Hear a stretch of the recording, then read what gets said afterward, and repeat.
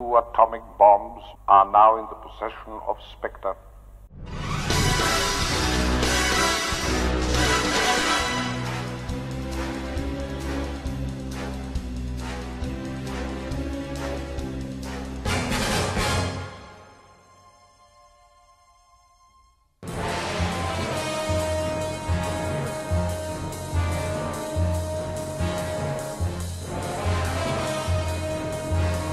Sir, I respectfully suggest that you change my assignment to Nassau.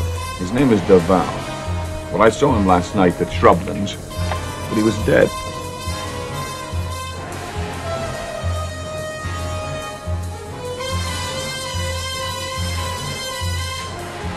Yes, I thought I saw a spectre at your shoulder. The spectre of defeat. But your luck was due to change.